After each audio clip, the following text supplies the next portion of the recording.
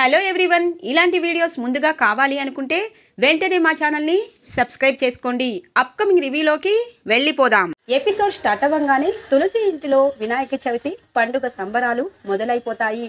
అందరూ చక్కగా ఇక పట్టుబట్టలు కట్టుకొని భక్తి శ్రద్ధలతో వినాయక చవితి పండుగ కోసం నైవేద్యాలు పువ్వులు అలాగే అన్ని చక్కగా ఇక దేవుని ముందు ఉంచుతారు. ఇంతలో సామ్రాట్ సామ్రాట్ వాళ్ళ బాబాయి హనీ పాప ముగ్గురు కూడా తులసి ఇంటికి చేరుకుంటారు. సామ్రాట్ మాత్రం బాబాయ్ హనీ మాట కాదనకుండా నేను ఇక్కడికి వచ్చాను. లోపలికి మాత్రం నన్ను రమ్మని బలవంతం పెట్టద్దు. మీ ఇద్దరు పండుగ పూర్తయ్యాక రండి. అప్పటిదాకా నేను ఇక్కడే ఈ కారులోనే ఉంటాను బాబాయ్ అని అంటారు సామ్రాట్. ఇక హనీ పాప సామ్రాట్ వాళ్ళ బాబాయి తులసి ఇంట్లో అడుగు పెడతారు.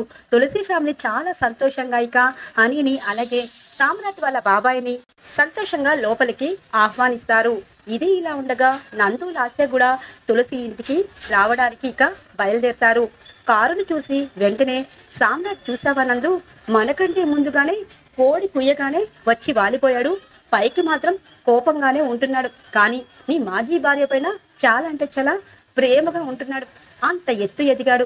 కనీసం బుద్ధి సిగ్గు కూడా లేదు నందు అని అంటారు. చూడు లాస్య నేను ఇక్కడికి రాను అంటే నువ్వే రమ్మన్నావు. ఇప్పుడు వాళ్ళ గురించి నువ్వు మాట్లాడకుండా ఉంటే బాగుంటుంది అని అంటారు నందు. అన్నట్టు లాస్య ఇప్పుడు మనం ఇక్కడికి వచ్చాము. ఇప్పుడు నాన్న అందరూ అడుగుతారు. అయ్యో నందు నేను ఏం చేసినా కరెక్ట్గా చేస్తాను. ఇదిగో ఈ పట్టికి బెల్లం తీసుకెళ్ళి దివ్య చేతిలో పెట్టు. ఎందుకంటే దివ్య నువ్వు ఎంబీబీఎస్లో ఫస్ట్ రావాలని దేవుడి దగ్గర పూజ చేసుకొచ్చి ఈ ప్రసాదం తీసుకొచ్చానమ్మా అని చెప్పి చేతిలో పెట్టు. అందరూ ఊకొడతారు అని చెప్పి చేతిలో పట్టికి బెల్లం ముక్క పెడుతుంది. లాస్య ఇక ఇంట్లోకి బయలుదేరుతారు. వీళ్ళిద్దరిని చూసి తులసి ఫ్యామిలీ అంతా ఒక్కసారిగా షాక్ అవుతారు. కానీ ఇక డ్రామా మొదలు పెడతారు నందు. అమ్మ దివ్య నీకోసం పూజ చేయించి ఈ ప్రసాదాన్ని తీసుకొచ్చాను అని చెప్పి చెప్పగానే thank you so much dad అని అంటుంది. దివ్య నందు వచ్చిన పని అయిపోయిందిగా వెళ్దాము అని కావాలి అంటుంది. ఈ లోపు అభి అంటారు. అదేంటి డాడ్ మీరు వెళ్ళడం ఏంటి మా ఇంట్లో వినాయక చవితి పండుగ జరుగుతుంది. మీరు ఇంటికి కొడుకే కదా ఉండొచ్చు కదా. అందరూ ఎందుకు ఇలా సైలెంట్గా ఉంటారు తాతయ్య? డాడీని లాస్ ఆంటీని ఇక్కడే ఉండమనండి. మనతో పాటు వాళ్ళు కూడా పూజలో కూర్చుంటారు అని అంటారు. అభి ఇక తులసి అంటుంది. చూడండి దేవుడి ముందు ఎవరైనా ఒకటే. భక్తి శ్రద్ధలతో కూర్చోవచ్చు అని అంటుంది. ఇక లాస్య అమ్మయ్య ఇక్కడ సామ్రాట్ని నీకు నేను ఇంకా ఇంకా పచ్చగడ్డి వేస్తానుగా. నాకు ఇక్కడి దాకా నువ్వు రప్పించడమే చాలా అంటే చాలా హ్యాపీనెస్ అని చెప్పి రానందు. ఎందుకంటే దేవుడి విషయంలో అందరూ సమానమే. వచ్చి కూర్చో అని అంటుంది. అందరూ ఇక వినాయకుడి దగ్గర కూర్చొని ఇక పూజ ప్రారంభించాలనుకుంటారు. ఇక తులసికి చెప్తుంది. ఆంటీ ఆంటీ ఈ పూజ అంటే మాకు చాలా ఇష్టం. మా డాడీకి కూడా చాలా ఇష్టం. కానీ అని అంటుంది. మరి మీతో పాటు సామ్రాట్ గారు కూడా తీసుకురాలేకపోయారా బాబాయ్ గారు? అని అంటుంది. సారీ అంకుల్ అనగానే అమ్మా తీసుకురావడం ఏంటి?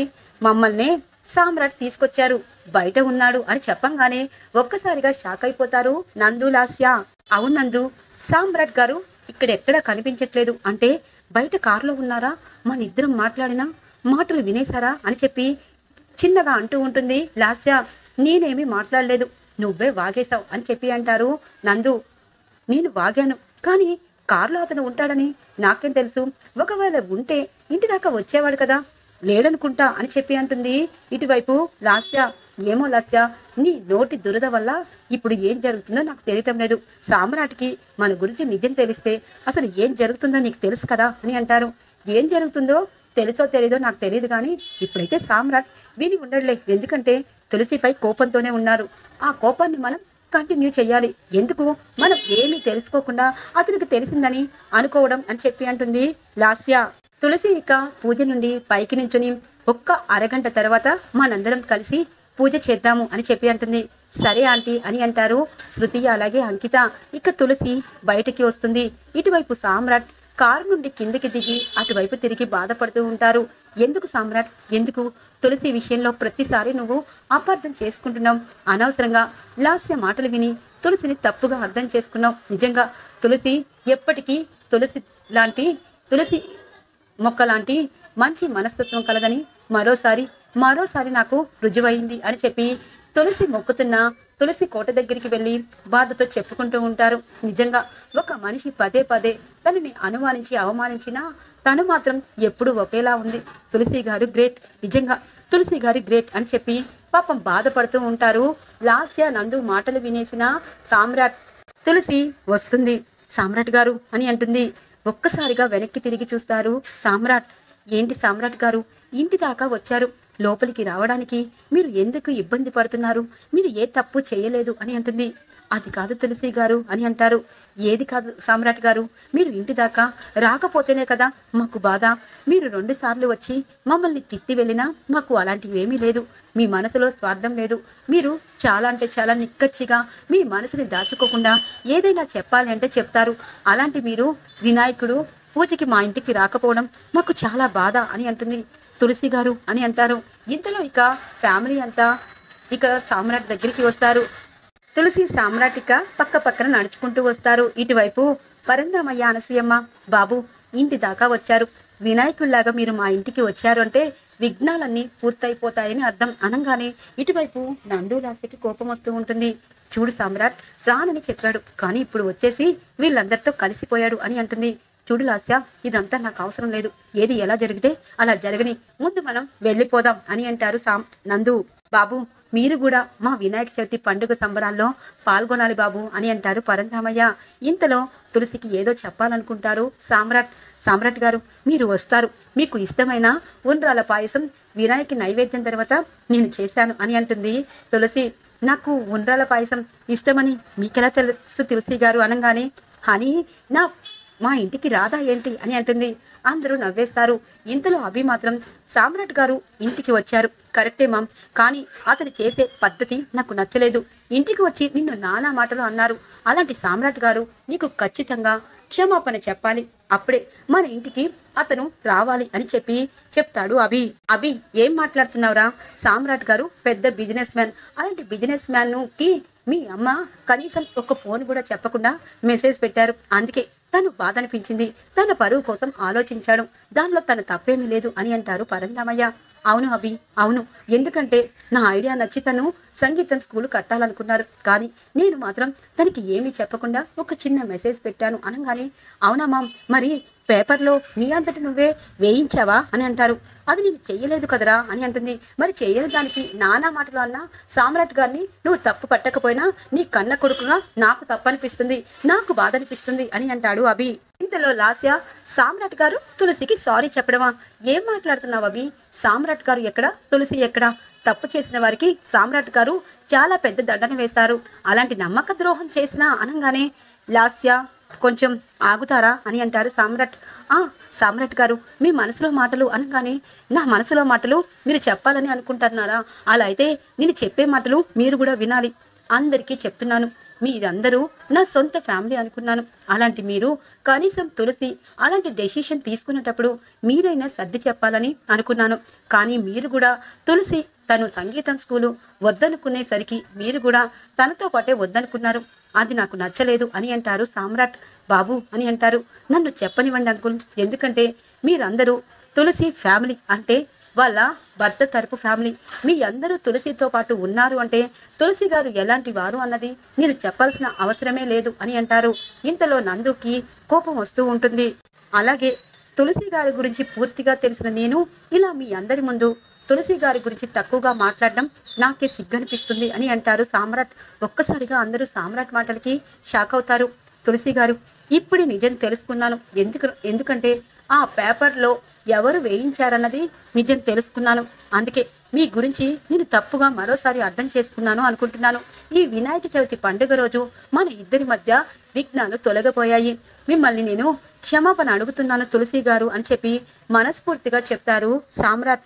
ఒక్కసారిగా లాస్యానందు షాక్ అయిపోతారు. అందరూ సామ్రాట్ని చూసి చాలా సంతోషపడతారు. బాబు తప్పు చేసిన క్షమాపణ అడిగే పెద్ద గొప్ప మనసు నీలో ఉంది. నీలాంటి వారు నిజంగా ఈ ప్రపంచానికి ఎంతమంది ఉన్నా సరే సరిపోరు. ఎందుకంటే ప్రపంచాన్నే మార్చేస్తారు అని అంటారు పరంధామయ్య అందరూ ఇక్కడే కూర్చొని నాకు భజన చేయొద్దు. ఎందుకంటే నా మంచిదనం మీకు అర్థమైంది. కానీ తులసి గారికి ఇంకా అర్థం కాలేదు. కనీసం నేను సారీ చెప్తే తను సరే అని అనలేదు. అనగానే తులసి అంటారు చూడండి సామ్రాట్ గారు మీలాంటి వారు ఈ ప్రపంచానికి అవసరం. నాలాంటి ఎంతో మంది వెనుకబడిన వాళ్ళకి మీరు చేయూతనిస్తారు. అలాంటి మీరు నన్ను క్షమాపణ అడగడమే నేను ఇంకా నమ్మలేకపోతున్నాను అని అంటుంది.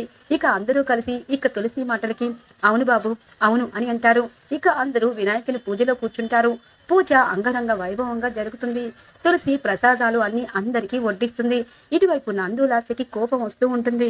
సామ్రాట్ మాత్రం తులసి వైపే చూస్తూ ప్రేమగా ఇలాంటి మంచి వ్యక్తి నాకు భార్యగా ఉంటే ఎంత బాగుంటుంది నన్ను ఇంతగా మార్చేసిన ఈ తులసి గారు అని చెప్పి ప్రేమగా చూస్తూ ఉంటారు. ఇక అందరూ తులసి అలాగే సామ్రాట్ అందరి వైపు చూస్తూ ఉంటారు. పూజ సంతోషంగా ఇక పూజ పూర్తయిపోతుంది కదా. ఇటువైపు లాస్య నందు మాత్రం చూడు నందు ఇక్కడికి వచ్చి తప్పు చేశానేమో. ఈ సామ్రాట్ ఇప్పుడు ఎలా ఉంటాడో తెలీదు అని చెప్పి అంటూ ఉంటుంది. ఇంతలో ఇక సామ్రాట్ లాస్య నందు దగ్గరికి వస్తారు. ఏంటి నందు లాస్య? మీరెందుకు ఇలా ఉన్నారు? మీరు తులసి గారి మాజీ భర్త. అయితే తప్పేముంది? తులసి గారు చాలా ప్రశాంతంగా ఉన్నారు. మీకెందుకు ఈ టెన్షన్ అని అంటారు. సార్ మాకేమీ టెన్షన్ కాదు. ఆవిడ ఎప్పుడు ఎలా ఉంటుందో తెలీదు. ఒక్కొక్కసారి ఒక్కో రకంగా ఉంటుంది అని అంటుంది లాస్య. అవును లాస్య చాలా మంది ఆడవాళ్ళు ఎవ్వరికీ అర్థం కాదు. ఎప్పుడు ఎలా మారుతారో ఎప్పుడు ఎవరిపైన అబద్ధాలు చెప్తామో అన్నట్టు ఉంటుంది. పైకి బాగానే మంచి కబుర్లు చెప్తూ ఉంటారు. లోపల మాత్రం సాటి ఆడదాన్ని అన్న ఒక్క విషయం కూడా మర్చిపోయి వాళ్ళ నుండి చాలా ఆశిస్తారు. వాళ్ళంటే నాకు చాలా అసహ్యం అని అంటారు. ఇదేంటి? నన్ను గురించే నాతో చెప్తున్నాడు అన్నట్టు ఎవరి గురించి మాట్లాడుతున్నారు? సామ్రాట్ గారు అని అంటుంది. మీ గురించి అయితే కాదు లాస్య అని అంటారు. ఇక నందు మాత్రం అలాగే సైలెంట్గా ఉండిపోతారు. ఇంతలో తులసి ఇక ఉండ్రాల పాయసం తీసుకొని వస్తుంది సామ్రాట్కి. సామ్రాట్ మాత్రం ఉండ్రాల పాయసం తిని నిజంగా చిన్నప్పుడు మా అమ్మ చేతి వంటలా ఉంది తులసి గారు. ఇలాంటి వంట మాత్రం నేను ఈ జన్మకి తిననేమో అనుకున్నాను. చాలా బాగుంది అనగానే సరే సామ్రాట్ గారు ఖచ్చితంగా మీ ఇంటికి కూడా నేను బాక్స్ పంపిస్తాను అని అంటుంది తులసి. తులసి ఇంట్లో పండుగ సంబరాలు ఇక పూర్తయిపోతాయి. తులసి ప్రశాంతంగా అనిపిస్తుంది. ఇటువైపు సామ్రాట్ మాత్రం వెళుతూ వెళుతూ అందరికీ చెప్తాడు. చూడండి ఒకరి కోసం ఒకరు తప్పుగా అర్థం చేసుకుంటారు. నిజం తెలిసాక సిగ్గుగా తలదించుకుంటారు. నేను ఆ పరిస్థితిలో ఉన్నాను. చూడండి తులసి గారు మీరు ఏ తప్పు చేయలేదు. మీ భర్తకి మీరు విడాకులు ఇచ్చారు అతను ఎలాంటి వ్యక్తి అన్నది మీకు అవసరం లేదు. మీ అత్తమామలు మీతో ఉన్నారు అంటే నాకు తెలిసిందే. కానీ లాస్ట్ అండ్ ఫైనల్గా మీ ఫ్యామిలీ మొత్తం అందరికీ నేను చెప్పాల్సింది ఒకటే. తులసి గారు తను ఆశయానికి మీ అందరూ సహాయం పడతారా లేదా? తులసి గారు మళ్ళీ ఇంతకు ముందులాగే మా ఆఫీస్కి వస్తారా లేదే లేదా అన్నది రేపు మార్నింగ్ నాకు ఏదో ఒక రూపంలో తెలియజేయాలి. ఎందుకంటే మీరు రాకూడదు అనుకున్నా నేను మాత్రం మీరు రావాలని కోరుకుంటున్నాను అని చెప్పి ఇక అక్కడి నుండి ఇంటికి వెళ్ళిపోతారు. సామ్రాట్ అలాగే సామ్రాట్ వాళ్ళ ఫ్యామిలీ. ఇంటికి వచ్చిన సామ్రాట్ జరిగిన మొత్తం నిజం ఇక సామ్రాట్ వాళ్ళ బాబాయికి చెప్తాడు. అవునురా సామ్రాట్ నిజం తెలుసుకున్నాం. వాళ్ళిద్దరూ మీద నాకు ఫస్ట్ నుండి అపనమ్మకమే. ఎప్పుడు అబద్ధాలు చెప్తూ ఉంటుంది ఆ లాస్య. ఇప్పుడు ఇప్పుడే నిజం తెలిసింది కదా. ఇద్దరికి మనం కంపెనీ నుండి ఉద్యోగాలు తీసేస్తున్నామని మెసేజ్ పెడదాం. ఎందుకంటే ఆధారిద్రాన్ని మన ఆఫీస్కి ఎందుకు అని అంటారు. సామ్రాట్ వాళ్ళ బాబాయ్ చూడు బాబాయ్ వాళ్ళు ఏదో నిర్ణయం తీసుకున్నారని నేను అదే నిర్ణయం ఎందుకు తీసుకుంటాను? ఖచ్చితంగా వాళ్ళ ముందే తులసి గారికి నేను పెద్ద హోదాని కల్పిస్తాను. తనకి సంగీతం స్కూల్ కట్టించడమే కాదు. మన మనం మన దగ్గరికి తనని ఎంత ఎత్తుగా అయినా ఎదిగిస్తాను. తులసి గారికి కొత్త జీవితాన్ని ప్రసాదిస్తాను. తులసి గారు ఇంతకు ముందు నాకు ఏమి రావు అని ఎప్పుడు అనుకున్నారో అవన్నీ తులసి గారితో నేను చేయిస్తాను. తులసి గారిని నేను ఆకాశం మీద కూర్చోబెడతాను. వాళ్ళ కళ్ళతో వాళ్ళు చూడాలి. వాళ్ళు తులసి గారి గొప్పతనం తెలుసుకోవాలి బాబాయ్. అప్పటిదాకా ఆఫీస్లోనే వాళ్ళు ఉండాలి. తులసి గారి ఎదుగుదల చూసి కుళ్ళుకోవాలి. ఇంకెప్పుడు ఇలాంటి మాటలు చెప్పకూడదని నిజం తెలుసుకోవాలి బాబాయ్. అదే నా లక్ష్యం అని అంటారు సామ్రాట్. ఈ రోజు ఎపిసోడ్ ఇలా ఎండ్ అవుతుంది ఫ్రెండ్స్. రాబోయే ఎపిసోడ్స్ కోసం మా ఛానల్ని సబ్స్క్రైబ్ చేసుకోండి. Thanks for watching friends